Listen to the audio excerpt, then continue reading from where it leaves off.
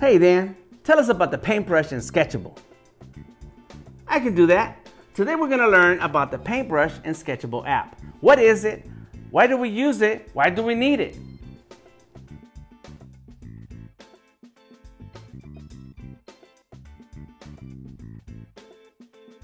This is Digital Drawing in Sketchable with DTM. That's me.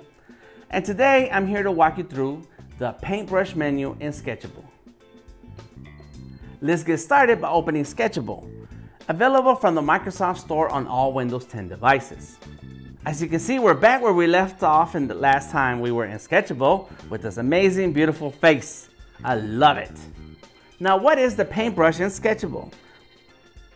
Well, let's go ahead and take a look. It's right here. Let me go ahead and make this a little bit smaller and tap on the paintbrush.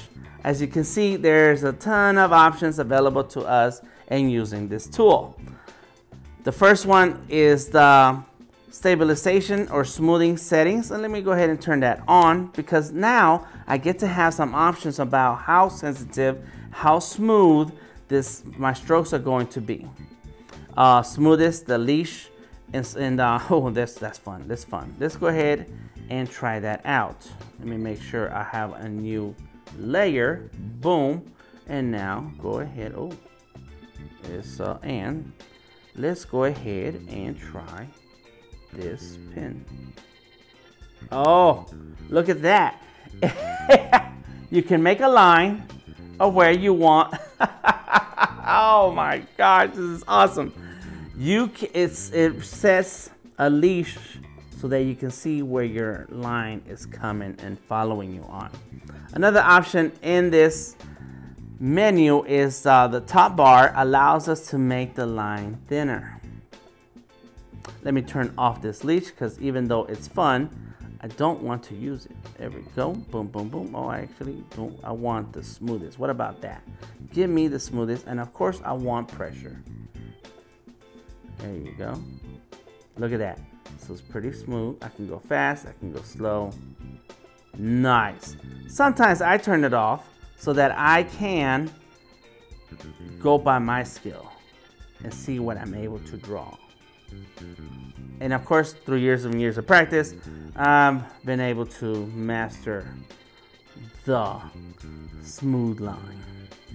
I got lots of lessons on that. The next set of icons are gonna be where the pressure ends and begins on this tool. Let me go ahead and get turn that layer off so that we can focus on what I'm drawing and not so much on my face. So as you can see, if I turn off the first icon, then I get pressure sensitivity in the beginning of my line, but not at the end. And if I turn off the third icon, then I don't have any pressure sensitivity at all. This is especially helpful when you want your drawing to have that steady, clean line weight throughout the whole drawing.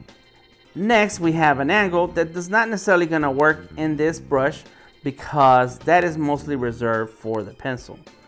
We can lock all our settings so that no matter what we do with us with this brush, we do not bother any of the settings that we have set up. And so now if I have edited some of these settings here, I can always restore the basic settings back to where they were and start drawing again. And those settings that I want to edit sometimes live back here. And now we get to see a whole lot more settings that we can adjust. And a lot of times when you're ready to make an adjustment here, what you want to do is select the plus. So now you have a copy of the main brush. So here's the the main brush and now let's go back to the copy. This is the copy now. And I'm gonna go ahead and change the color so that we can tell the difference that this is the brush that came with Sketchable and I'll go ahead and reset those settings back on. And now I'm gonna select the brush that I just created and now I'm going to adjust some of these settings here. There it is. Ooh, that's nice. Let's make it bigger. Look at that. Let's keep playing. What else you got, Sketchable? There's a ton of settings here that I like to play with. Nice. It has like a little, little, little stripes, little lines that run alongside it.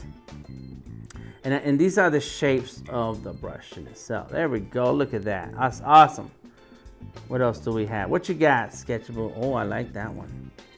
So it all comes out very streaky. And we can play on and on and on. Oh, wow. There it is. Yes, yes.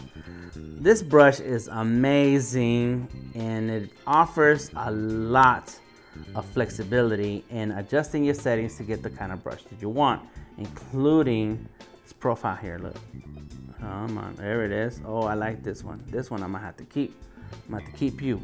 I like it. I like that. I like how it can start off real thin, like if the, the, the least amount of pressure that you press, and I can take that down so I can get really clean. Look at that. Yes, it's a combination of all of these settings that we have here that make things uh, special for each brush.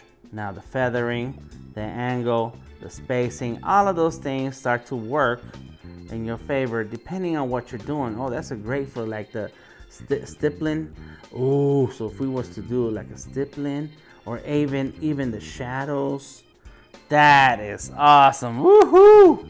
All right, now of course we have the flow and the opacity. And I like to play with these all the time, these flows and opacities, because I want to then sometimes, let me go ahead and fix all these things here. There we go, boom, boom. Sometimes I want to build out the sketch. I want to go, instead of just having a solid line, I want to build it out and slowly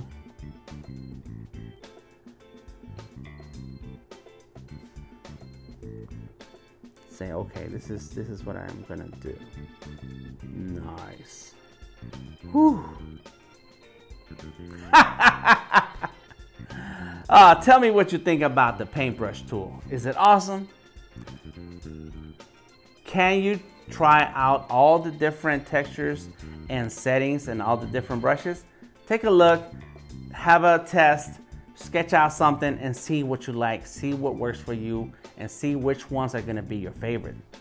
Because each and every dot here down below is an extra brush that you can adjust, start fresh, and of course remember, if you like something and you like this brush, let's say I like this brush, this is cool, I like how this brush works, let me add another copy of that brush, and then this brush, I will go ahead and change the round, the, the profile.